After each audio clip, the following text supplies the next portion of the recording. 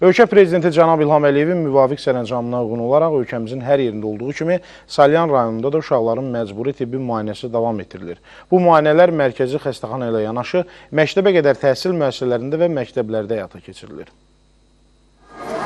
Salyan rayon Birləşmiş Uşaq Xəstəxanasının Poliklinika şöbəsinin həkim briqadası tərəfindən bu dəfə şəhər bir sayılı humanitar fənlər üzrə liseydə uşaqların məcburi dispanserizasiyası həyata keçirilib. Aksiyaya oftalmoloq, pediatr, nerpatoloq və digər ixtisaslar üzrə həkimlər cəlb olunub. Bir neçə saat davam edən aksiyada 100 nəfərdən artıq aşağı və yuxarı sinif şagirdlərinin müayinəsi aparılıb. Salyan rayonunda 36927 nəfər 18 yaşa qədər uşaqlardan hal-hazıra kimi 29685 uşaq tibbi müayinədən keçirilib. Bunlar arasında xəstə kimi 3085 uşaq e, dispanser müşahidəsinə götürülmüşdür. Poliklinika şöbəsinin müdiri Mina xanım Hacıyevanın bildirdiyinə görə tibbi müayinənin ilin sonuna kimi davam etməsi nəzərdə tutulub. Aytən Sakit qızı Vüqar Məlikov, Salyan.